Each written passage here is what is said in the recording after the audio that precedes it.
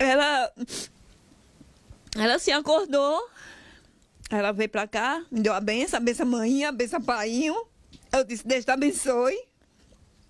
Ela já tinha levado a menina dela já para Jussarau, para casa dos avós. Tomou banho. Tava aqui o meu genro, a minha filha mais nova. Aí ela trocou de roupa. Aí eu disse assim, Eduarda, tu vai chegar quando? Aí ela disse, manhã, ou, se, ou sábado, ou sexta, ou quinta. Ainda falei com ela. Mas no mesmo dia que ela viajou, ela não falou comigo no mesmo dia, não. Ela falou comigo no outro dia, que já foi na quarta-feira. Eu disse, Eduarda, cadê a tua amiga? Aí ela disse, manhã, a minha amiga, ela tá trabalhando. Eu disse, a tua amiga trabalha onde? Ela disse, trabalha aqui em Vitória. Tua amiga faz o quê? Aí ela disse, ela é mecânica. Aí eu disse, de quê? De, de moto. Aí eu fui assim, cadê o marido dela? Aí ela fez assim, o marido dela também tá trabalhando amanhã, corta a cana. Aí pronto, ela fez chamada de vídeo, mas não a mostrou, só mostrou onde ela tava. Aí eu fui assim, ela disse, ah, aqui tem, tem cachorro, mas não a mostrou o cachorro. Aí eu fiz assim, trai um pra Mariana. Aí ela fez, não, mãe, mas já tá tudo dada. Pronto, depois daí eu não falei mais. Aí falei de novo com ela. Aí eu disse assim, Eduarda, tu já almoçou?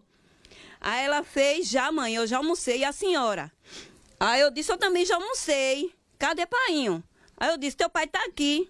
Aí ele deu a ela deu a benção. Deu, deu, deu, deu a benção. Aí de lá pra cá, tentei falar, ligava, ligava em nada, ligava, ligava em nada. Foi a última vez que a senhora conversou com sua filha. Tem mais de uma semana isso. Foi. Foi a última vez que eu falei com ela. E vocês ainda tentaram entrar em contato com essa amiga que ela tinha dito que tinha ido para casa dela? A gente falou com essa amiga, essa menina de Daisy. Aí ela ligou para a gente, disse que ela não tinha aparecido lá, que já tinha feito um ano que não estava mais morando mais em Vitória. Estava morando na usina Massoaçu. Nesse momento, a senhora ficou sem chão, praticamente, sem contato com sua filha. O único local, a única pista que vocês tinham foi embora, depois que essa amiga disse que não estava morando lá. Foi, foi isso mesmo. Mas eu já fiquei já estranho, porque quando eu, eu saía de casa, eu abria a porta e ficava brechando ela, na, na brecha da porta, eu ficava brechando ela. E via ela conversando. Eduardo, Eduardo, tá falando com quem? Com a minha amiga a minha amiga. Sempre a gente discutia, mas aquela discussão de mãe e filha. Assim, não era discussão. A gente dava conselho a ela, minha filha. Ah, minha filha conselha pro bem, mas ela não queria, não.